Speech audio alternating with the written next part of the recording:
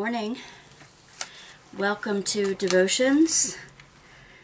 Um, following along on the Treasury of Prayer Through the Ages, the HarperCollins Book of Prayers, um, where I pick one at random. We take some deep breaths, settle in, and pick a prayer at random.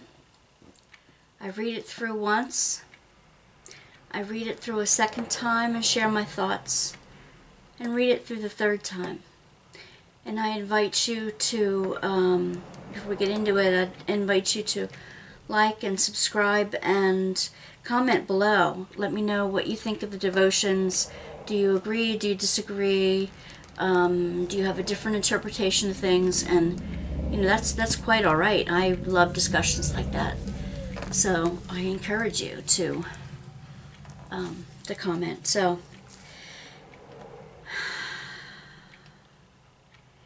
take some deep breaths as we've been doing every day.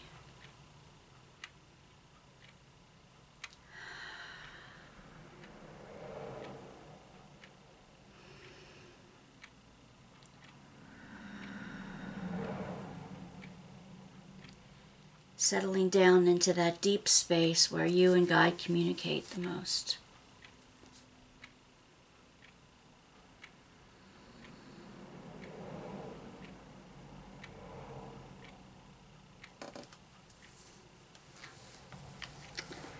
a prayer at random. Okay. This one is by John Calvin. He lived from 1509 to 1564. He inspired the Protestant Reformation in Geneva, governing both the religious and the political efforts of the city according to biblical principles as he interpreted them. His influence qu quickly spread to other countries such as Holland and Scotland, while the Puritans in England largely adopted his teachings. His daily prayers, which he composed for ordinary people of Geneva, reflect his conviction that spiritual faith is worthless without practical application. In the morning, My God, Father and Preserver, who in your goodness has watched over me in this past night and brought me to this day, grant that I may spend the day wholly in your service. Let me not think or say or do a single thing that is not in obedience to your will, but rather let all my actions be directed to your glory and the salvation of my brethren. Let me attempt nothing that is not pleasing to you, but rather let me seek happiness only in your grace and goodness. Grant also that as I labor for goods and clothing necessary for this life, I may constantly rise my mind, raise my mind upward to the heavenly life which you promise to all your children.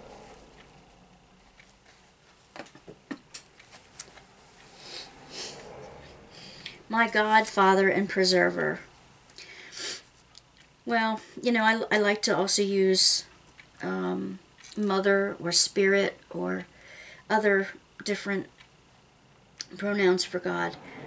Um, not just Father, but as they understood it in that patriarch, patriarchal time, and we're still kind of living in that time too, aren't we? Um, Father was most likely used, and we still use that when we do baptisms or blessings, and the Father and the Son and the Holy Spirit together as the Trinity. So um, here he is addressing God as Father, like Jesus addressed God as Abba, meaning Daddy. So at once, God is both overall, as close as a father and a protector. So he says, My God, Father and Preserver, who in your goodness has watched over me in this past night and brought me to this day. Now, there used to be a lullaby um, prayer that, that went, um, Now I lay me down to sleep. I pray the, um, I pray the Lord my soul to keep, if I should die before I wake. Um,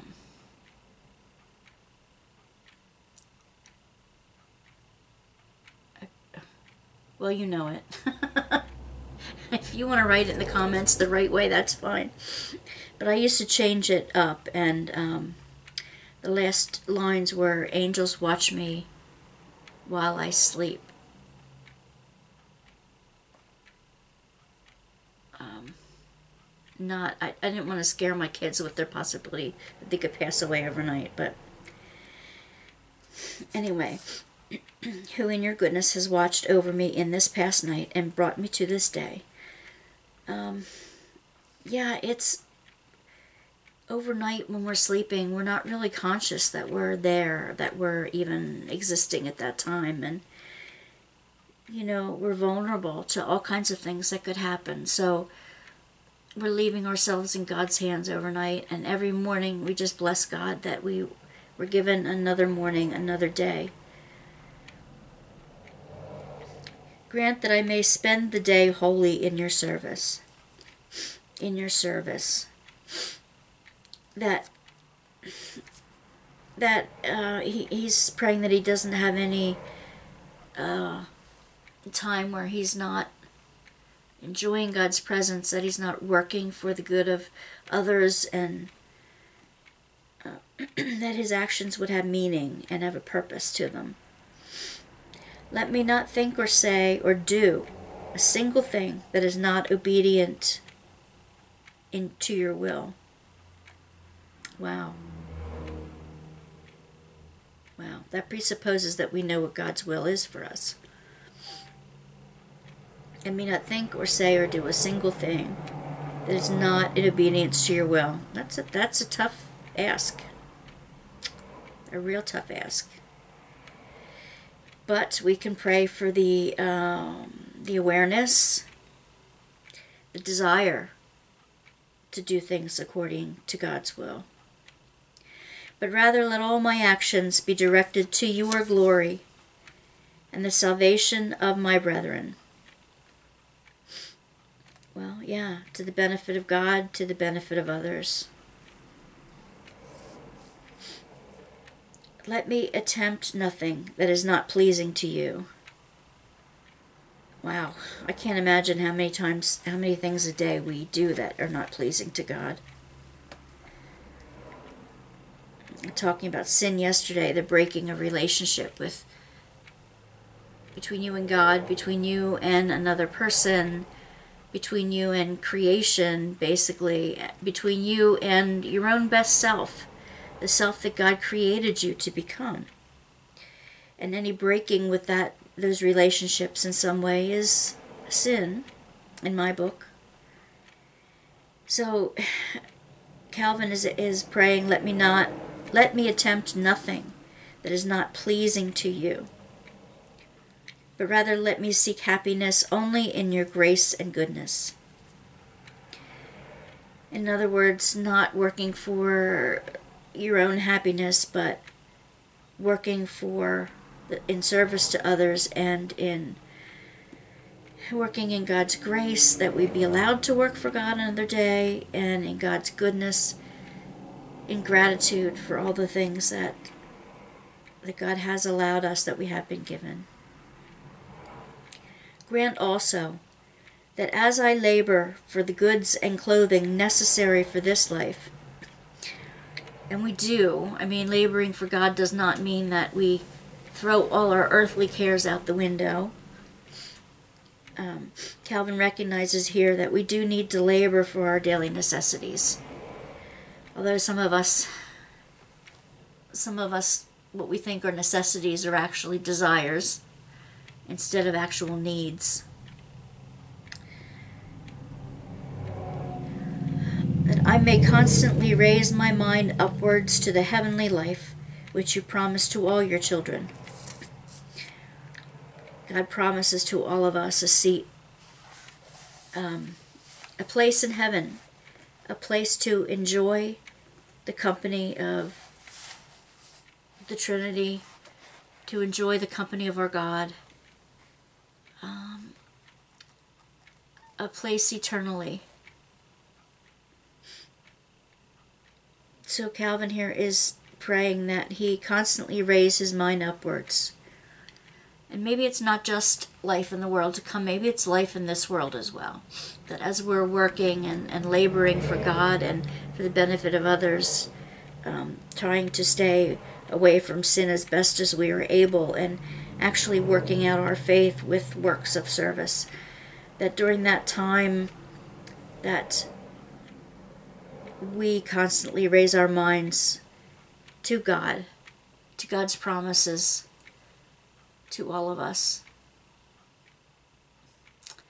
Because I imagine the gratitude for the gifts from God.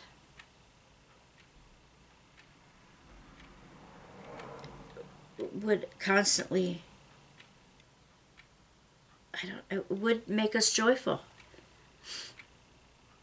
It does make us joyful to think about the benefits of God in our life. I invite you again to breathe deeply and sink back down into that place where only you and God communicate. And I will read the prayer once more.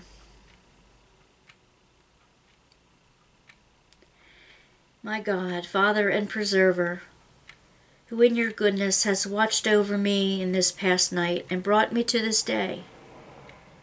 Grant that I may spend the day wholly in your service. Let me not think or say or do a single thing that is not in obedience to your will, but rather let all my actions be directed to your glory and the salvation of my brethren.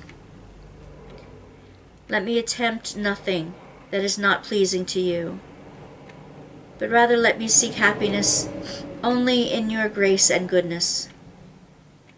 Grant also that as I labor for the goods and clothing necessary for this life, I may constantly raise my mind upward to the heavenly life which you promise to all your children. Amen.